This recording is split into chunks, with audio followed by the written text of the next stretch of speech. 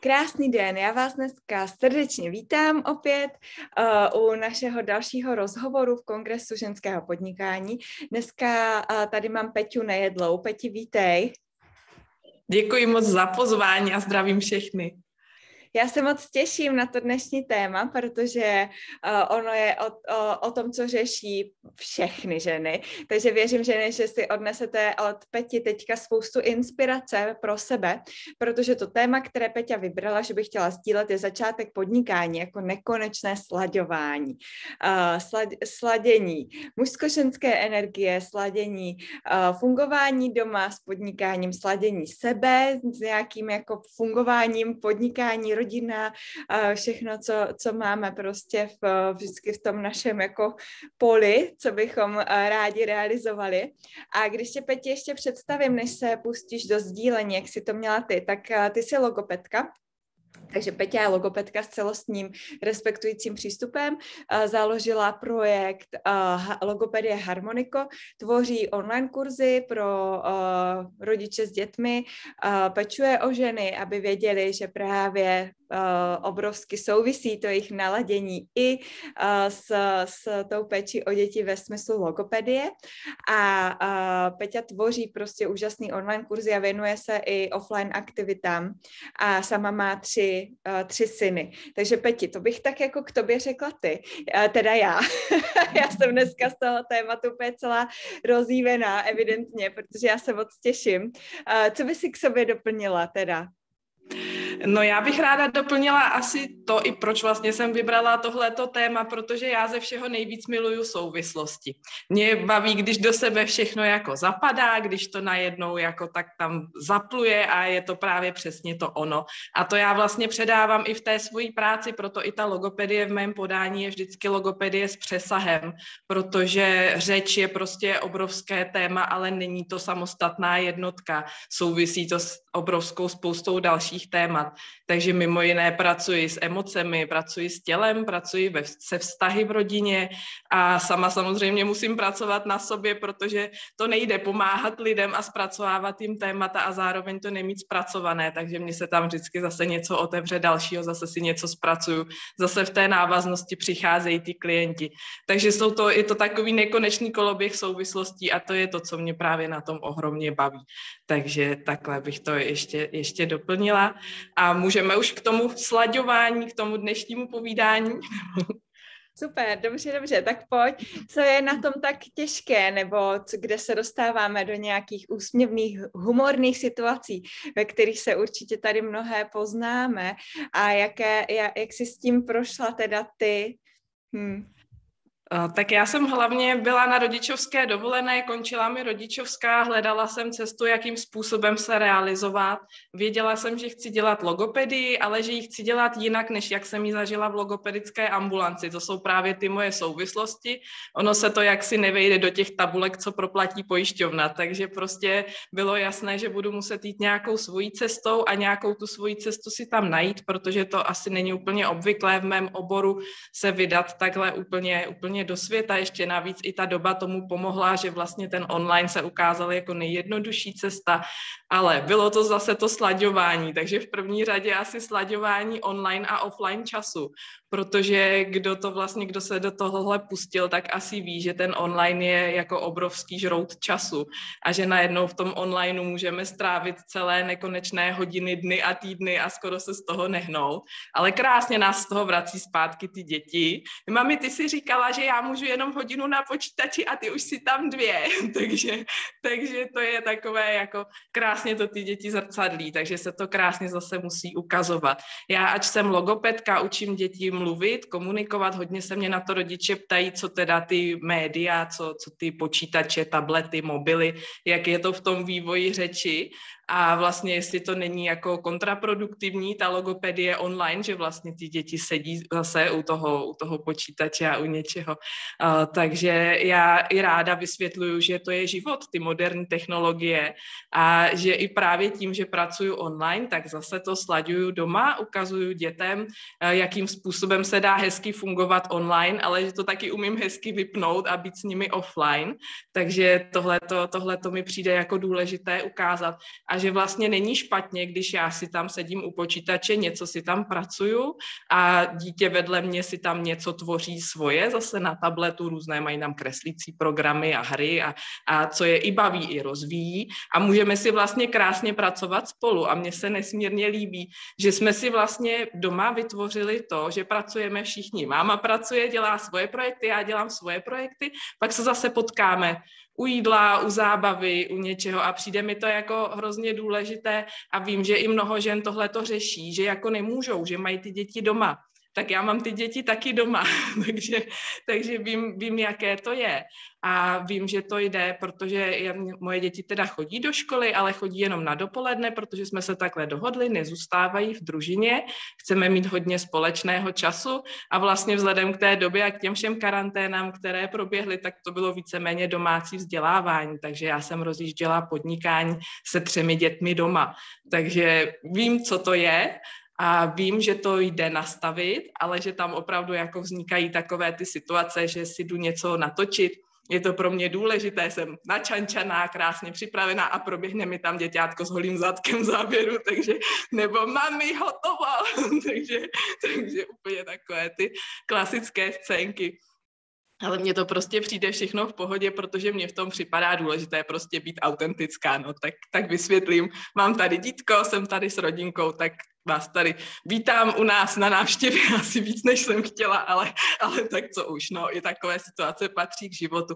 A brát to prostě asi trošku s humorem v tomhle, to mi přijde jako obrovsky důležité, tak tohle, tohle to je tak asi, co bych řekla teď v tuhle chvíli k tomu. Mm, krásný, takže hnedka na začátek velký téma online, offline. Věřím, že u toho bychom se mohli zastavit ještě dlouho, ale ať si dáme ještě i to další slaďování, tak asi popojedeme pak dál jenom k tomu, co bych řekla já.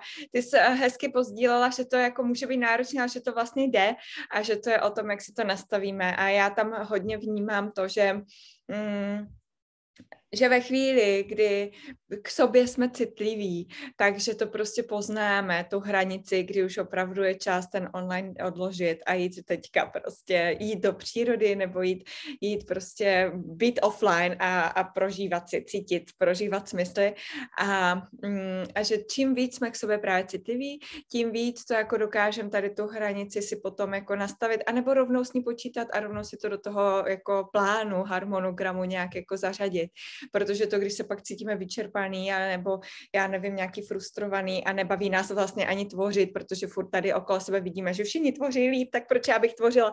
Tak to obvykle bývá jako takový znamení, že jsme to přepískli, že jsme prostě byli online moc a, a dá se to, dá se to sladit, i když jasně je to velká výzva, ale, ale bude ještě větší. Prostě to, je to tak, jak jste popsala, ty technologie teďka k tomu už patří a dá se rozvíjí. Takže čím dřív se to naučíme takhle sladit, tak jak jsi to jako i sdílela, tak tím líp pro nás, pro všechny, protože stejně se tomu nevyhneme. Hmm. Chceš k tomu ještě něco dodat, nebo pojedem teda dál do dalšího sla- sladění, kde vidíš ten potenciál? Hmm. Já bych možná navázala rovnou v tom, co jsi řekla teď, protože tam je ten důležitý moment to vnímat sebe. A to je vlastně další slaďování. Že v tom všem, že mám rodinu, mám podnikání, mám plnou hlavu projektu a všechno mě to obrovsky baví, musím pořád vnímat sebe. Což uh, vnímám jako to úplně nejdůležitější pro celý život, protože ať dělám, co dělám, prostě musím vnímat sebe. Se sebou, jenom se sebou jsem od začátku až do konce, ať se stane cokoliv. Takže, takže ale trvalo to, než jsem to pochopila pochopila, abych se tady netvářila, jako že jsem nějaká hvězda jasná, která to ví od jak živa. Ne, nevím to od jak živa. Sáhla jsem si na dno. Já jsem si prošla vyhořením, já vím, co to je. Opravdu nemít sílu vstát z postele a nevědět, proč jsem na světě. Jako opravdu jsem si tohle to jako zažila a tu sílu jsem našla v sobě, našla jsem ji i díky alchymii ženy, která mi nesmírně pomohla, protože já jsem se začala poprvé v životě vnímat jako žena, začala jsem vnímat cykličnost a začala jsem vnímat, že tohle vlastně stačí. Jakože jakože to jsem já a já nepotřebuju mít ty role okolo, můžu je mít, ale můžu je mít úplně jiný, zase v jiný fázi života, ale to, že jsem žena a že jsem tady lidská bytost nějaká, že to je jako dostatečná zásluha a ten hlavní důvod, proč se jako o sebe musím starat a že je to to nejdůležitější. A to mě pomohlo obrovsky moc a právě jsem se naučila se ladit na sebe a vnímat se opravdu každý den, několikrát za den. On ten online z toho hodně jako mě odtahuje. Já kolikrát vnímám, že jako když jsem ponořená úplně, když chystám kurz a jedu, tak jsem x hodin u počítače, nesmírně mě to baví, obrovsky moc. A pak se zvednu a zjistím, aha, tak už asi tak tři hodiny nevím, co dělá moje tělo. A, a najednou jako se mi ozývá, najednou se mi připomíná. A není to jenom hlad a žízeň, ale je to tak jako protáhnout se, cítit se, zavrtět se trošku, prožít se v tom těle. A tak jsem se opravdu naučila si v pauzách zatančit, zaskákat, vyběhat se trošku, co je mě prostě v tu chvíli příjemné. A opravdu slyšet, co to tělo hlásí a nesmírně mi to pomáhá, že nejdu už nikdy teďka na to dno, a druhá věc v tom je cykličnost, kdy opravdu vnímám fáze svého cyklu. Vím přesně, kdy si musím odpočinout a kdy si můžu naplánovat to, co by mě třeba normálně nebavilo, takové ty věci, co se musí prostě nasekat jedna za druhou, co je potřeba nasázet do počítače a tak. Přesně to tam mám naplánované, přesně si to skládám do diáře tak, abych tam měla pauzu, abych tam měla ty, tu aktivní část a pak jsou tam samozřejmě momenty, které jsou jako volné a nechávám to, jak to vyplyne. Samozřejmě, že to není úplně přesně každý měsíc stejné, ale dá se tam o spoustu věcí opřít a obrovsky mi to pomáhá. Opravdu, když si dopřeju v ty své dny tu pauzu, tak z toho těžím celý ten měsíc a, a je to prostě něco, co se nikdy jindy nenahradí a je to taková obrovská zásobárna energie. Takže určitě vnímat sebe a cykličnost, to pro mě je jako obrovská část toho slaďování, díky čemu mám vlastně sílu jet to všechno, co jedu, jinak by to prostě nešlo, jinak už bych byla někde asi zhroucená, vyhořelá, protože ty síly by prostě došly. Ale teď to vnímám přesně v tu chvíli, kdy začínají docházet, nebo kdy už je to tak jako, hele, už, už, mysli na sebe, přesně se mi tam ozve ten hlas hlásek a vím, kdy prostě vypínám, končím, dneska stačilo, kouknu, co můžeme udělat, jestli můžeme jít někam na víkend, jestli můžeme aspoň výlet si udělat, nebo aspoň procházku, nebo jestli si jdu lehnout s knížkou, nebo prostě to zvážím, jak, jak to zrovna je a jaké máme možnosti. Ale vždycky se něco dá. Mně tam přijde ještě důležité jako říct, že hodně žen říká, nemám čas, nemám čas na sebe. Já to tam nemůžu zařadit, já mám tři děti, já mám tamhle práci, eh, barák, všechno. No já mám taky, ale když to tam nezařadím, tak je vlastně úplně jedno, co ten barák, co ty děti. To se o to stejně bude muset postarat někdo jiný, protože mě na to ty síly nezbydou.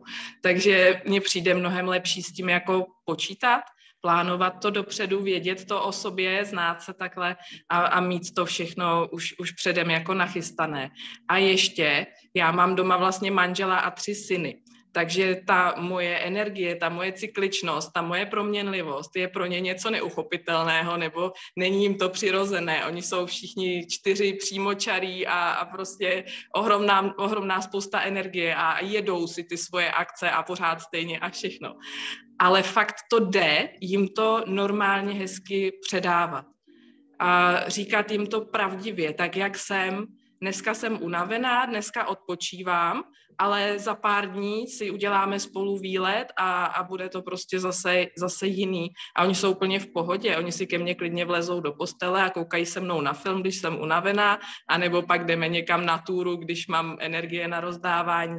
Takže krásně se to dá, i tohle to se dá, ale asi největší jako základ je tam připustit si to sama v sobě, dovolit si to, žít to pravdivě k sobě a pak to žít pravdivě k těm nejbližším. A pak si myslím, že jde všechno. Jo, jo, jo, úplně se po to podepisuju, to krásně teďka řekla, pozbudila ženy k tomu, že to jde.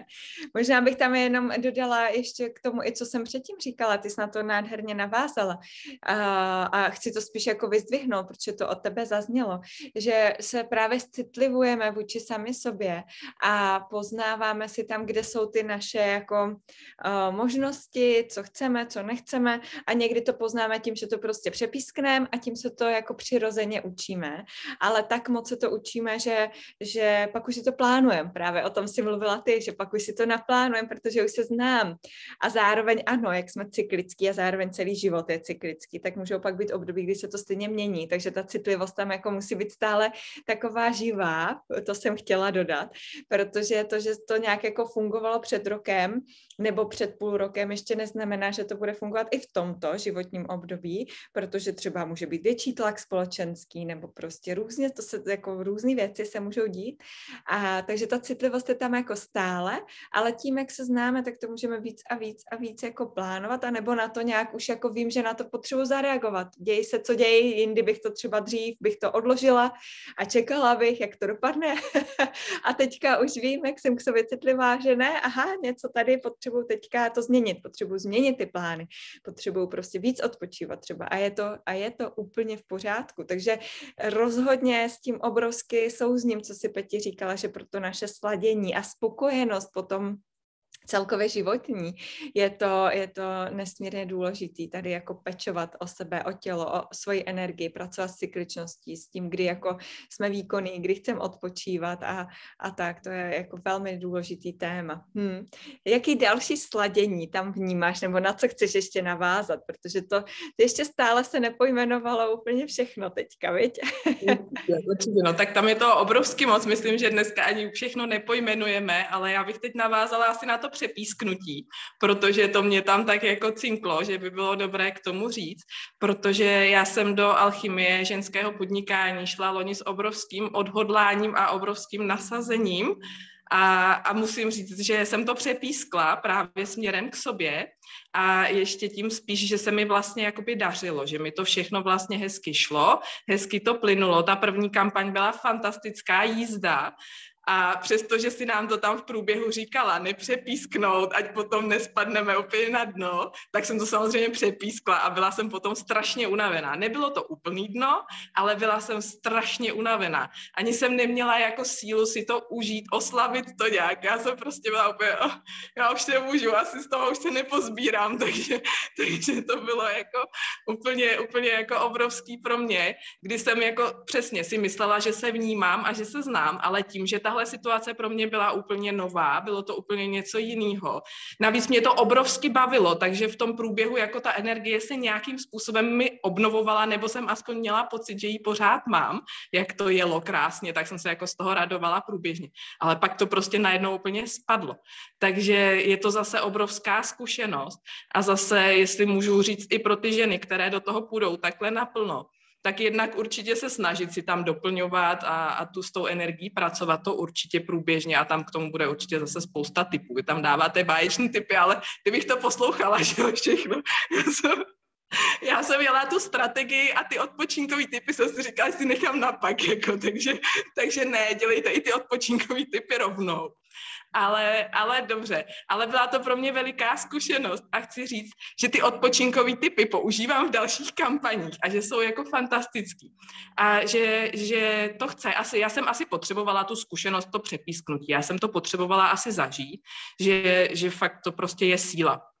No se to nezdá, jako. A pak ještě jako když manžel třeba říká, no ty jenom jako cvakáš do toho počítače, tak to zase jako není taková práce, že jo, no, tak jako, takže, takže to jako není takový výdej energie, no tak sedíš u obrazovky, že jo, a něco tam jako děláš, no, tak to. Takže, takže není to tak, jako je to opravdu velký výdej energie. Ta první kampaň byla obrovsky náročná na energii. Byla to pro mě obrovská zkušenost a hrozně moc se tam ty energie měnily v tom průběhu. A já jsem jako na sebe pišná, že jsem si to dovolila prožít, protože pro mě, jako já jsem tak jako naladěná, nebo byla jsem, snažím se už nebýt jenom na ty hezké emoce, a jako užívat si to hezký a to, to horší si jako moc nepřipouštět. A teď právě pracuju s tím, že jako jsou tam ty vzlety a pády a že ten pád i vlastně po té úspěšné kampani mě nesmírně jako pomohl v tom, že každou další kampaní už si tančím prostě.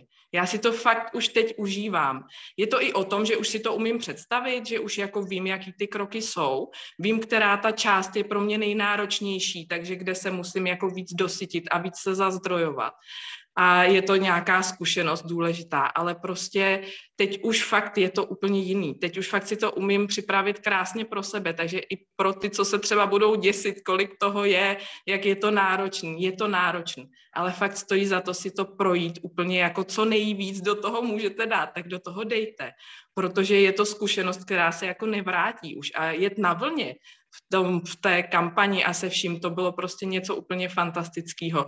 A čerpám z toho a věřím, že z toho budu čerpat ještě hodně, hodně dlouho. Mám ten základ, na který můžu krásně navazovat.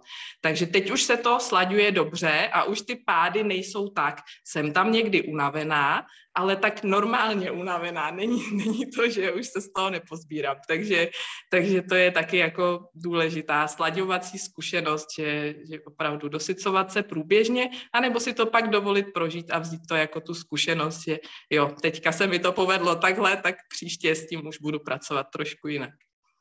No což Peti je úplně úžasný, že jsi to takhle jako použila už hned u těch všech dalších kampaní, protože někomu to trvá i několik let a než, než si to tam jako zaintegruje. A protože já ráda učím je jako rozdíl mezi kampaní a fenomenální kampaní. A fenomenální kampaň není jenom o tom, že se fakt povede ziskově, prostě, že uh, jo, máme tam ten obrat, že tam máme ty klienty, že prostě ty klienti jsou úspěšní z toho, jak si projdou ten náš kurz kurz, ale právě i jak my se tam cítíme.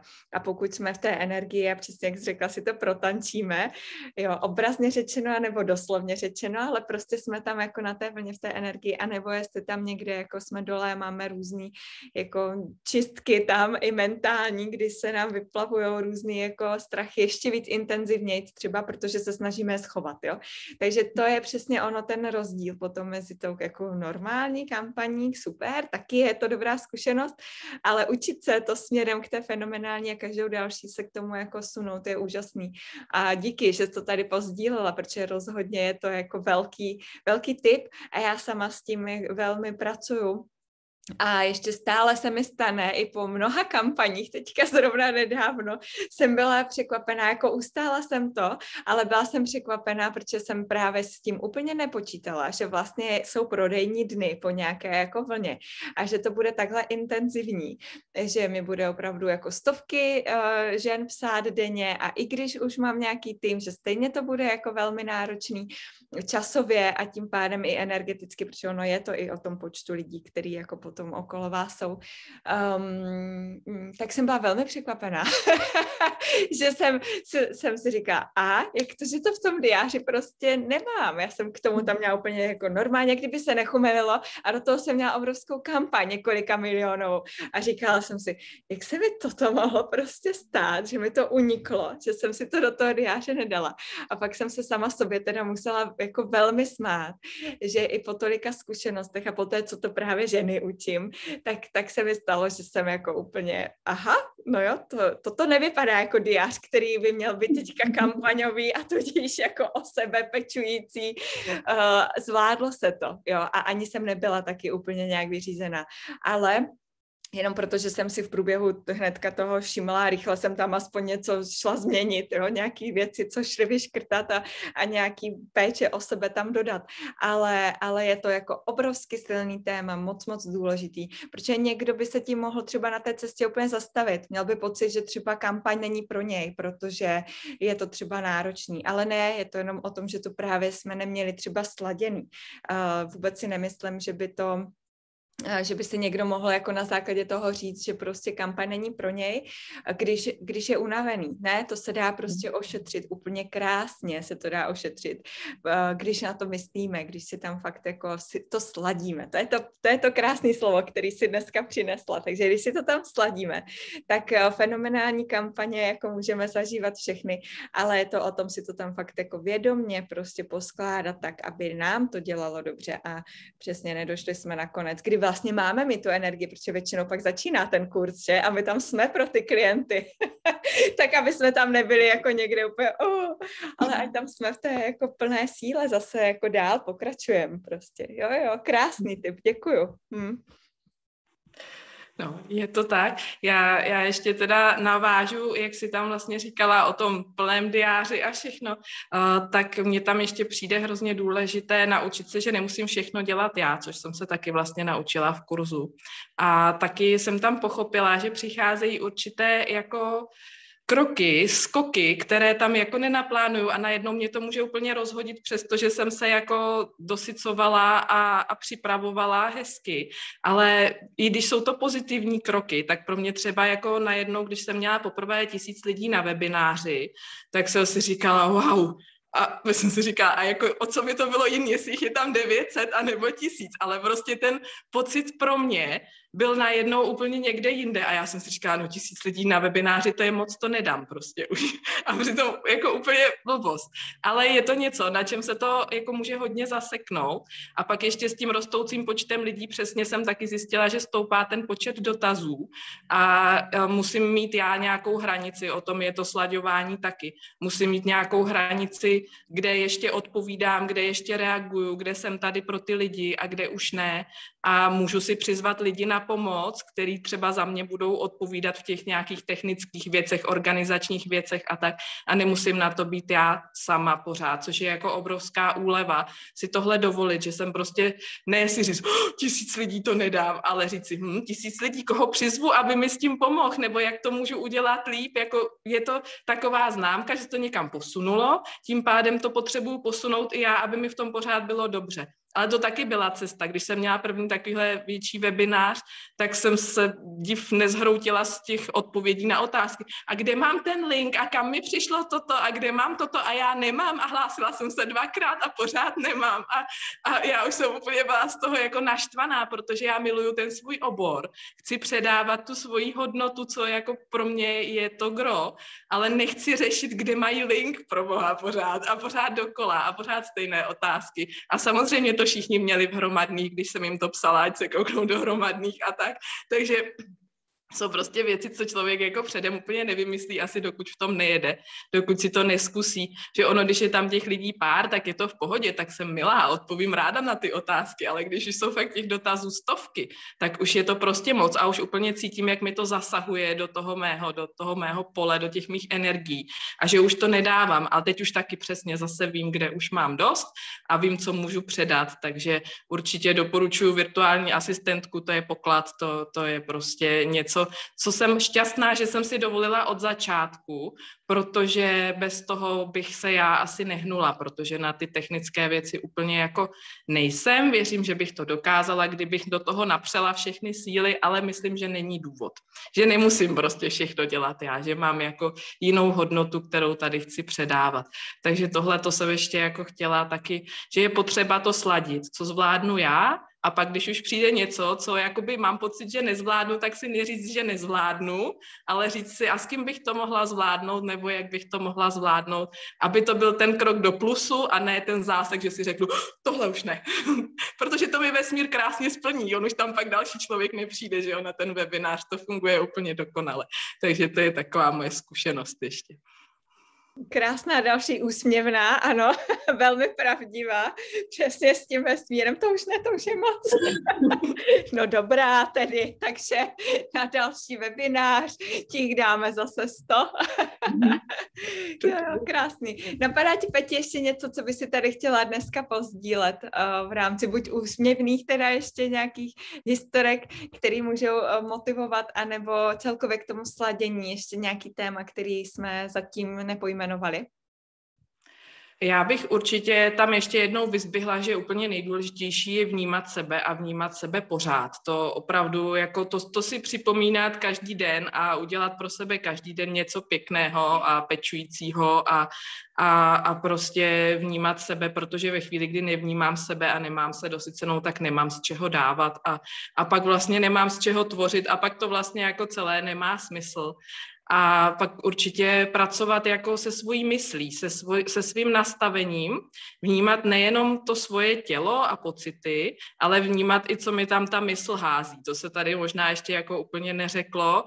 Teď, teď vlastně se to trošku řeklo v tom, jako to už, to už ne, to už je moc, ale, ale ono je to ve všem, jako já jsem taky od spousty lidí slyšela jako podnikat online, jo, taková blbost prostě, jako. A jak chceš dělat tu logopedii online a to tě nebude bavit a za to ti nikdo nezaplatí. A všechno tohle to prostě jako mm, a neřekla bych úplně jako to neslyšet, protože to taky není řešení. Naopak bych řekla to jako slyšet a pustit a říct si a jako, jako vzít to trochu jako hru. Ono to taky nejde úplně se vším a nejde to úplně hned. Jo. Jsou tam věci, které taky mě jako zarazili, nejvíc to zarazí od těch blízkých, jo, to je, to je vždycky takový jako že budu zanedbávat tu rodinu, že nebudu mít čas na ty děti, že budu sedět u toho počítače a tady to, když jako slyším od manžela nebo od mojí maminky nebo od někoho, tak si říkám jako a jo nebo ne, ale je potřeba jako nějak mít náhled na tyhle ty myšlenky, nějak je nechat jako asi proplynout, nebo aspoň tak to vnímám já, že, že tyhle ty názory jsou, házíme si je tam sami, hází nám je tam okolí ale když cítím uvnitř, že je to moje cesta, že mě to naplňuje, že mi to dělá radost, tak prostě můžu a můžu to zkusit a můžu si s tím hrát a nemusím to brát tak strašně vážně. Já jsem jako skoro chtěla říct, že to asi nehodí, ale my tak jako vždycky říkáme, hlavně se z toho nepos, protože to je prostě jako to gro. Mně to tam přijde hrozně jako důležitý. Je to hra, celý život je hra a záleží na nás, jak si to, jako, jakou hru chceme tady hrát.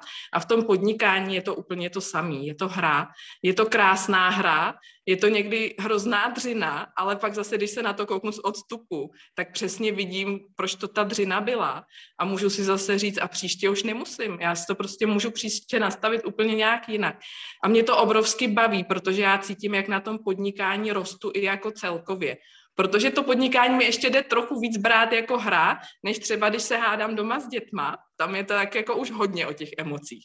Ale si říkám, do prčic, když jsem to prostě vyhrála v tom podnikání, když z tohohle jsem se poučila, udělala jsem to příště jinak, tak tady udělám to samý.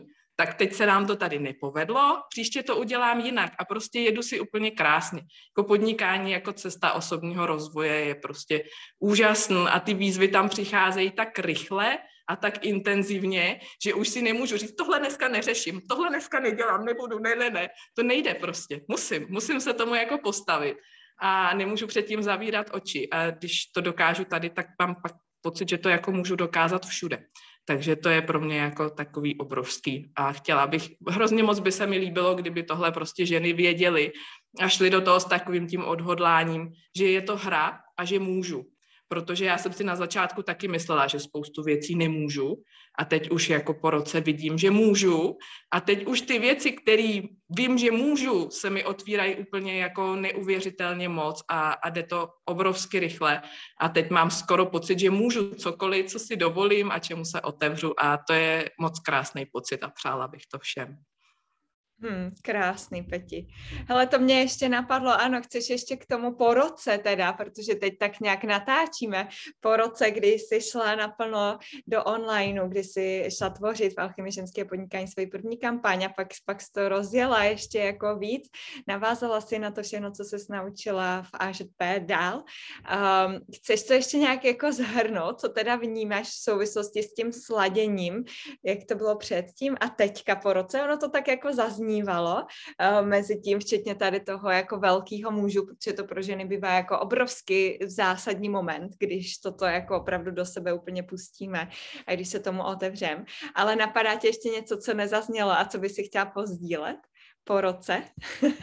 no, určitě ráda. Já jsem do toho šla hlavně s obrovským nasazením. Já jsem si prostě, já jsem dříč jako od přírody, takže jsem si říkala, že prostě to projdu úplně poctivě, co nejpoctivěji mi to půjde. Byla jsem jako obrovsky odhodlaná plnit všechny úkoly, jít do všeho Několikrát jsem si tam říkala, že tohle dělat nebudu, pak jsem viděla, jak obrovský to má smysl, takže jsem všechno udělala a, a mělo to obrovský smysl, krásně to do sebe zapadalo.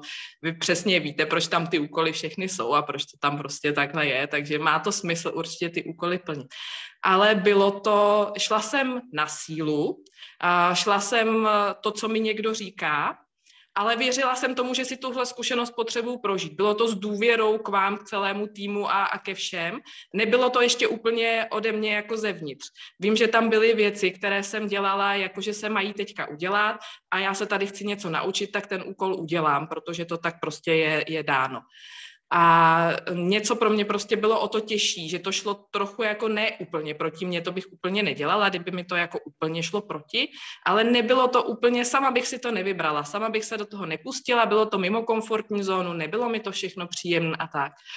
Ale byla to obrovská zkušenost a, a pak tam přišla ta obrovská únava potom, ale obrovský úspěch, obrovská únava A já jsem si pak na konci říkala, tak a tahle horská dráha mě teď jako čeká pořád, jako že budu pořád úplně nahoře, a super, a pak zase, oh, nemůžu, už další kampaň dělat nebudu. Tak jsem si říkala, no tak to asi jako úplně nedám takhle. Takže určitě po tom roce jsem měla jako, ne, vlastně už po kurzu jsem měla strach, že to neudržím. Že to byl jeden úspěch, že se mi prostě něco povedlo a že to bude takový to, jak se říká, první vyhrání z kapsy vyhání, že jsem jako udělala všechno a, a pak už to jako sama to nezopakuju. Takže jsem si musela rychle dokázat, že to zopakuju. Potřebovala jsem prostě pro svůj pocit, jsem si jenom jako oddechla trochu a hned jsem měla další kampaň, protože jsem si říkala, že prostě musím pro sebe vědět, jestli to dokážu zopakovat. Dokázala jsem to zopakovat ještě o trochu větším úspěchem. Ta druhá kampaň byla, byla za o něco víc peněz, a, ale hlavně byla s o mnoho lepším pocitem. Eh, bylo už to tam úplně jiný, ještě nebyla asi úplně protančená, to zase nebudu tady jako machrovat, že už to bylo jako úplně bomba, ale bylo to o hodně lepší. Přesně už jsem věděla, co jsou pro mě ty těžké momenty a na ty jsem si jako počíhala a byla jsem na ně připravená, připravená předem a v diáři jsem si pak nechala volno vždycky, abych to mohla zase ještě dosytit. Takže počíhat si na ty momenty mě jako přišlo hodně důležitý. A samozřejmě se v průběhu jako měnilo to okolí, který pochopilo, že to není nějaká nějaká blbost, nějaký můj bláznivý projekt, do kterého jsem se pustila a za chvíli mě to přestane bavit, nebo mi to nebude fungovat, nebo tak. Ale že vlastně až asi třeba po půl roce začalo jako to nejbližší okolí brát, že mi to jako fakt funguje, že mě to jako opravdu baví, že mi chodí krásné ohlasy a že to teda asi má jako nějaký smysl a nějaký potenciál, takže až po téhle době vlastně začala přicházet nějaká větší podpora od těch bližších lidí. Do té doby jsem si jako musela stačit dost sama, což bylo náročné si to ustát, ale taky si myslím zase, že to pro mě bylo hrozně důležitý. Že mě to i zkoušelo v tom smyslu, jako myslíš to fakt vážně, jako fakt, fakt si na tom trváš, fakt do toho dáš tu energii a jdeš. Takže když jsem dokázala, že jdu, tak od té chvíle mi připadá, že mi vesmír pomáhá, že to jako, že to odhodlání moje bylo tak obrovský, že teď už jako mi přicházejí krásné nabídky, krásné pozvánky, krásná spolupráce zase s dalšími lidmi, o čem se mi jako ani nesnilo, že bych mohla s někým takovým třeba spolupracovat.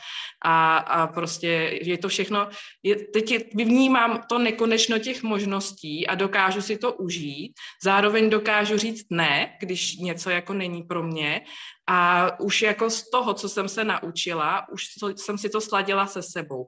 Takže to je asi jako to, to největší, že nějakou chvíli jsem poslouchala, vykračovala z komfortní zóny, dělala věci, které se mi nelíbily, šla jsem i vlastně proti rodině nebo proti jejich názorům nějakým, nebo prostě nebylo to vždycky jako harmonický.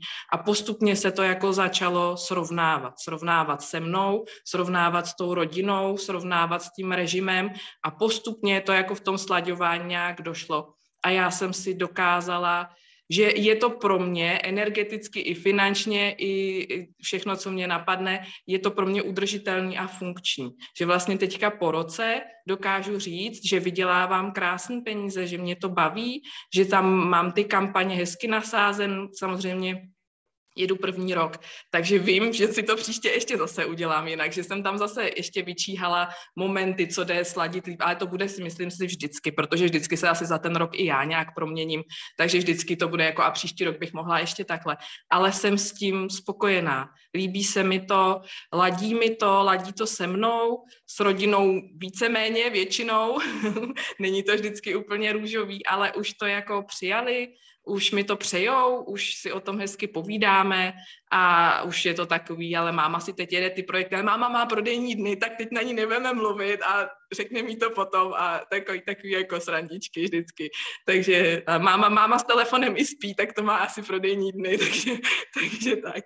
Takže, takže v tohle tom to u nás jako jede, ale je to všechno jako mnohem lepší. Takže je to pořád to slaďování, ale, ale obrovsky se to posunulo v tom, že už to jde jako v souladu se mnou všechno a, a slaďuje se to krásně teď. Tak to jsem ráda, Peti, teda, že jsem se tě ještě na toto zeptala, protože to teďka bylo velmi cené sdílení té celé, té celé tvé cesty.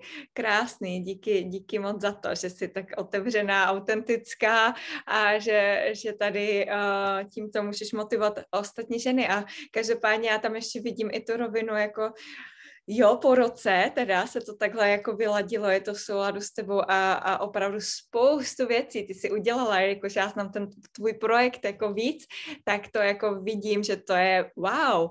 A kam to může jako vést za další rok, jo? To je vždycky takový, já jsem hodně do té budoucnosti i jako vizionářsky, takže já tam vždycky představuju tady ty jako další horizonty a jsem z toho úplně nadšená právě i s, i s, jako s konkrétně z té tvé cesty prostě, wow. Takže já se na to těším, až budeme natáčet nějaký další rozhovor, který bude zase zhrnutí dalšího, dalšího roku, protože to bude určitě jako nádherný.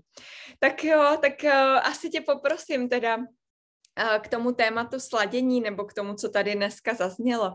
Co by si pro ženy tak vypíchla úplně na závěr, jako takový závěrečný pozbuzení pro ženy, které se dívají na video, na rozhovor? Hmm. No, určitě vnímat sebe, nebát se, jít do toho a poslouchat ten svůj hlas. A když mám pocit, že mám něco dělat, že, že někde je to moje místo, protože já mám jako ten intenzivní pocit celou dobu, že to podnikání je moje cesta, že já to takhle potřebuju mít, já potřebuju si být paní svého času, jet si ty svoje projekty, ne, já nepotřebuji, aby mi někdo dával úkoly, co mám dělat, já potřebuji, já ty úkoly vím, vím zevnitř, vím přesně, co mám dělat a, a vím přesně, že jsem tady na správném místě. Takže když tam jako cítíte ten hlas, tak si za ním běžte, protože to je prostě takhle správně. A můžete, všechny můžete. Jo, já mám úplně husy kůži teďka z toho, co jsi řekla. Tak jo, Peti, takže já ti moc, moc děkuju. Já jsem věděla na začátku, proč jsem rozjívená, protože jsem tušila, že ty se tady do toho takhle opřeš. Uh, ženy, napište nám pod video, napište nám do skupiny Alchymie podnikání, uh, do facebookové skupiny, jak se vám video líbilo, jak, uh, jak souzníte s tím, co Peťa sdílela, jakou máte vy zkušenosti s kampaněmi, jak vy máte zkušenosti se sladěním toho všeho, co prostě chcem tvořit v tom souladu, harmonii. Těšíme se moc na reakce, určitě pokud se chcete ještě Peti na něco zeptat, tak taky můžete. A Peti ještě jednou děkuju, ať se ti daří i nadále a přeji krásný zbytek dne tobě i vám všem. Já taky moc děkuji.